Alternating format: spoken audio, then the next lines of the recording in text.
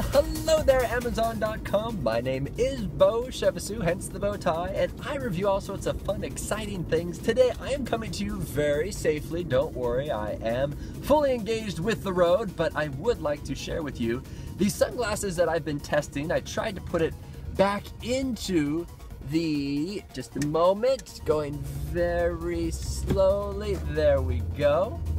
Be, be careful while driving. I tried to put it back in the package so that you can actually see that uh, these sunglasses from OTO come in a nice little uh, micro fiber cloth and then also with some plastic kind of on there.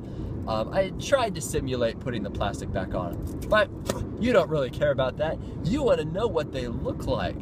And these are so cool. They're actually polarized. So right now as I'm driving along, I can actually uh, see my the the glare kind of uh, a, a, purple type film on my iPhone and I can see a slight texture on the windshield.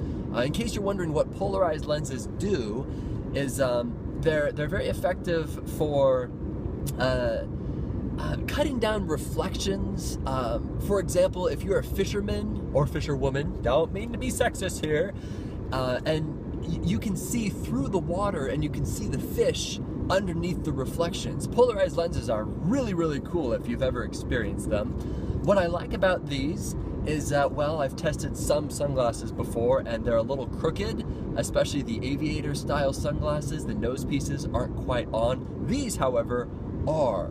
They're very, very even. Um, they're metal frames, so they're very high quality. Once you bend them into place, they do stay in place. And there's a little close up right there of what they look like. And on the back side, they look like that, like so.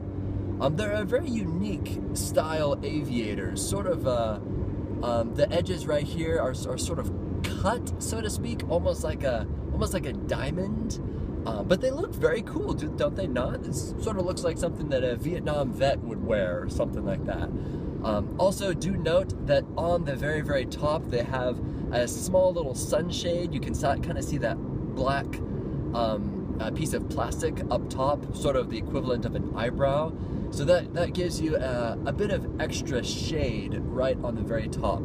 Uh, they don't get in the way of your vision, which is awfully nice, um, but it adds, adds a bit more shade, which is awesome. So there is my brief demonstration of the sunglasses from OTO noUV Eyewear, and uh, I hope that you've enjoyed this. My name is Beau Chevassus, and I look forward to reviewing more fun things here on Amazon.com.